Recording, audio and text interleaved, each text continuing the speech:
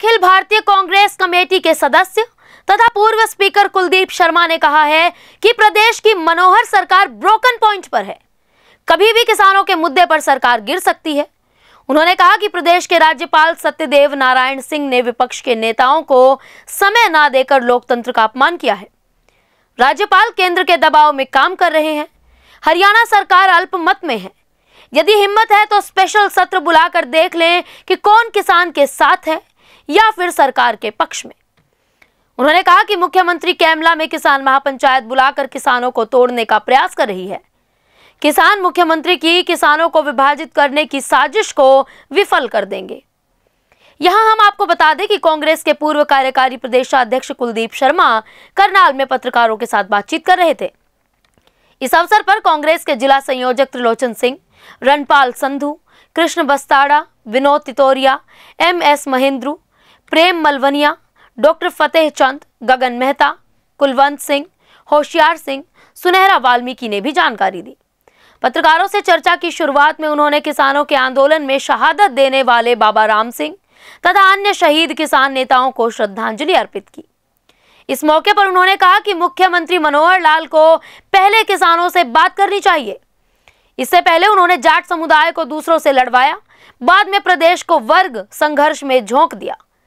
उन्होंने कहा कि भारतीय जनता पार्टी किसानों को खत्म करने पर तुली हुई है। उन्होंने कहा कि सरकार किसान आंदोलन को तोड़ने का प्रयास कर रही है। सरकार सात दौर की बातचीत के बाद भी वहीं पर खड़ी है, जहाँ पहले दिन थी। पहले दिन से किसान एमएसपी की गारंटी और किसान विरोधी तीनों कानूनों को रद्द करने की मांग पर कायम है। फिर सरकार बातचीत के नाम पर आखिर नाटक क्यों कर रही है? केंद्रीय मंत्री नरेंद्र तोमर के बयान के बाद किसानों को निराशा हाथ लगी है। उन्होंने कहा कि सरकार कब तक किसानों को शहीद होते देखती रहेगी। सरकार किसानों के सब्र का इम्तिहान ना ले, किसान आने वाले दिनों में इतिहास बनाएँगे। उन्होंने कहा कि सरकार अब अपनी जिद से बाज आए। उन्होंने कहा कि जो किसानों की राजनीति करते थे, वे किसानों को संकट में छोड़कर गोवा में ऐश कर रहे हैं। इनके चेहरे से कांग्रेस नकाब हटाएगी। इससे पहले त्रिलोचन सिंह ने कहा कि मुख्यमंत्री किसान हित में संघर्ष को टालने के लिए महापंचायत को रद्द करें।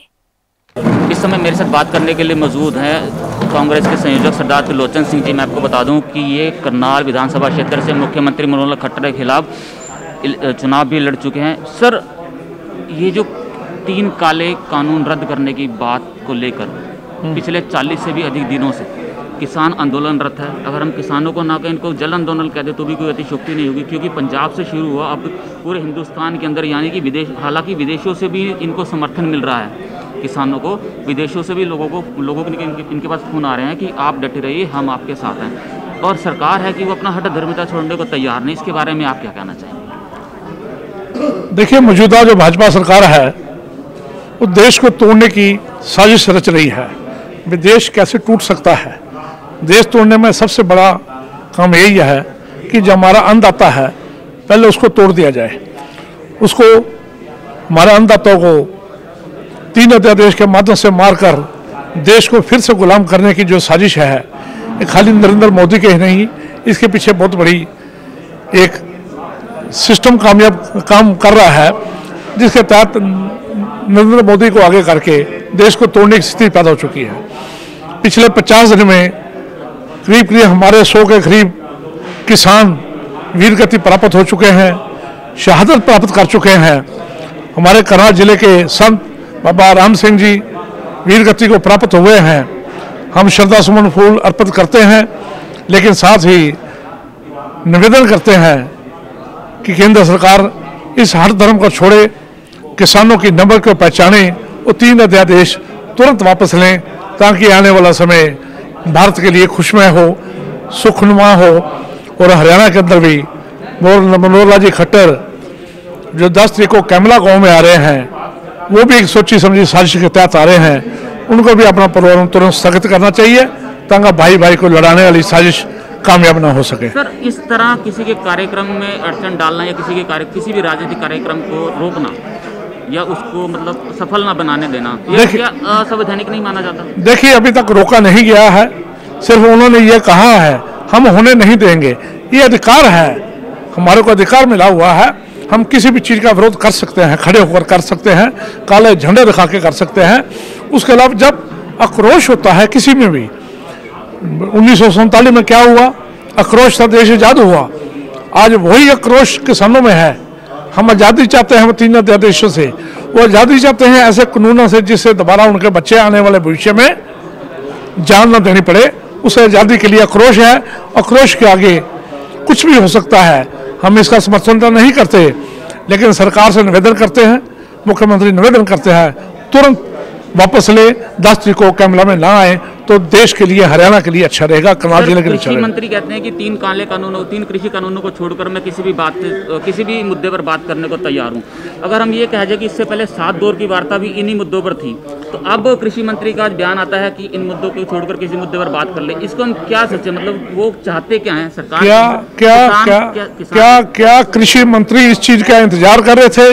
भी साठ या सत्तर किसान जब मर जाएँगे तब हम कहेंगे तीन का कानून वापस नहीं लेंगे। क्यों नहीं? पहले दिन कह दिया गया वार्ता करो या ना करो हम तीन कानून वापस नहीं लेंगे। क्यों सात दौर चली? क्यों मीटिंग पर मीटिंग होती रही? क्यों साठ दिन से किसानों को वहाँ बैठा के रखा है?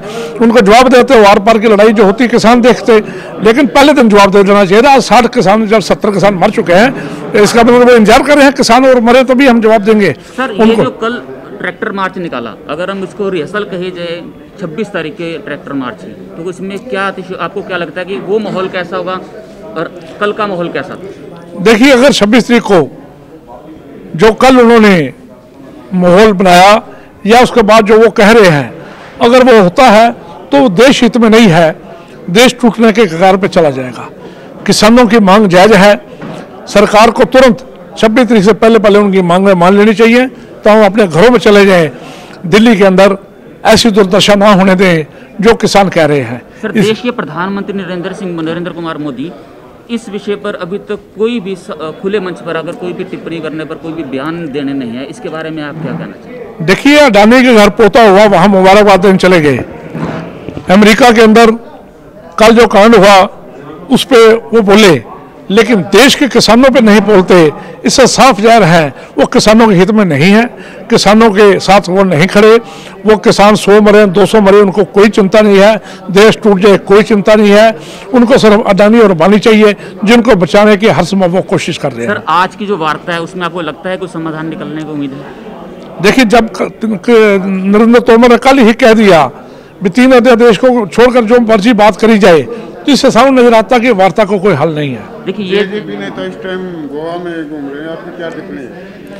देखिए जेजेपी के ऊपर बहुत बड़ी जिम्मेवारी हरियाणा के लोगों ने दी थी। ऐसे मौके पे अगर वो गोवा में जाके छुट्टियाँ मना रहे हैं इंजॉय कर रहे हैं तो ये देश हरियाणा के किसानों के लिए दुखदाई है। ये थे हमारे साथ करनाल जिला कांग्रेस के संयोजक सरदार त्रिलोचन सिंह जी जिन्होंने जिन्होंने जिन्होंने हमें बता दिया जिन्होंने हमारे से बातचीत करते हुए बताया कि किस तरह से ये जो ये जो आंदोलन चल रहा है ये किसानों का नहीं, ये देश को बांटने का काम चल रहा है। मुख्यमंत्री को आगामी दस तारीख को कैमला में नहीं आना चाहिए। देश इस समय, देश इस समय ऐसी स्थिति पर खड़ा है कि टकराव की स्थिति पैदा हो सकती है। ऐसे में मुख्यमंत्री को, ऐसे में मुख्यमंत्री मनोहर खट्टर को अपना जो कार्यक्रम है स्थगित कर देना चाहिए। हालाँकि कांग्रेस ने यह भी स्पष्ट कर दिया है कि वह वह इस आंदोलन का समर्थन करती है, अपना योगदान नहीं दे रही। लेकिन जिस तरह से पिछले 40 से भी अधिक दिनों से आंदोलन चल रहा है और 60 से भी अधिक किसान वीर गति को प्राप्त हो चुके हैं। यह दुखदायी है। इन्होंने मुख्य प्रधानमंत्री पर यह भी आरोप लगाया कि अडानी के घर पोता हुआ था, वो उसको मुबारकबाद देने चले गए। लेकिन किसानों साठ किसानों की मौत के बावजूद भी उन्होंने अभी तक भी कोई भी दुख भी दुख भी अपना नहीं दिखाया है। कोई दुख व्याप्त नहीं किया है। कोई उन संवेदन, संवेदनहीन सरकार उन्होंने बता दी है। उन्होंने कहा कि इस समय हरियाणा की सरकार भी खतरे के स्तर पर है। जिस तरह से जजपा के विधायक गोवा में छुट्टियाँ मना रहे हैं वह एक शर्मनाक बात है, क्योंकि किसान सड़कों पर है और जो जजपा के विधायक हैं, जजपा के नेता हैं, वो ऐशो की ऐश आराम की ज़िंदगी जी रहे हैं। मैं Tarun Madan, senior camera person, Sunny Chaudhary, Samachar Express के लिए धन्यवाद। ऐसे ही लेटेस्ट खबरें पाने के लिए बेल आइकन को क्लिक कर हमारे चैनल को लाइक, शेयर एंड सब्सक्राइब करें। धन्यवाद। JBD Banquets lie hain incredible marriage palace Rajgharana and the finest banquet hall Jyoti Garden. World-class catering, centrally air-conditioned, lush green lawns, state-of-the-art lighting. A perfect venue for wedding, launching and parties. Rajgharana and Jyoti Garden at JBD Banquets Enterprise.